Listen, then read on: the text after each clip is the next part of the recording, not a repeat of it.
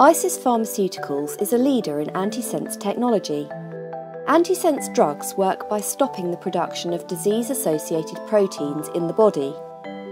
To understand how antisense drugs work, you need first to understand how proteins are made. Your body is made up of billions and billions of cells. Each of your organs, your brain, heart, liver, kidneys, and so on, are comprised of specialised cells. Let's take a closer look at your liver. Using a microscope, we can see that it is made of lots of cells. Every cell has an information centre called a nucleus, seen here as the round structure. Inside the nucleus, you will find genes, which are made up of DNA. Your individual DNA is unique and makes you who you are. It contains the instructions for making all the proteins in your body. Proteins are the crucial building blocks for the structure and function of all our body organs and systems.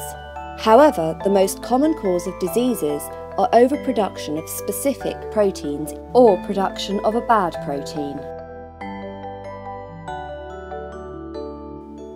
The process of making a protein, good or bad, begins with the cell making a copy of DNA.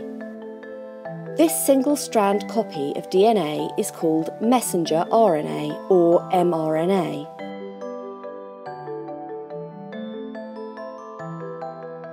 The messenger RNA travels outside the nucleus to the part of the cell where proteins are made. Proteins are then assembled based on the instructions carried by the messenger RNA from the DNA. For this reason, messenger RNA is the target of antisense drugs.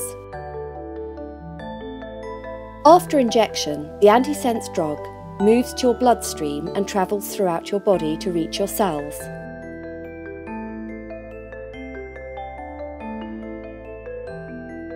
Inside each cell, the drug binds to the targeted messenger RNA that is responsible for making the disease causing protein. The binding process causes the messenger RNA to be broken down. This prevents the production of the disease causing protein. Each antisense drug is different and targets only one messenger RNA. Antisense drugs only interact with targeted messenger RNA and do not interact with DNA or alter your genes in any way.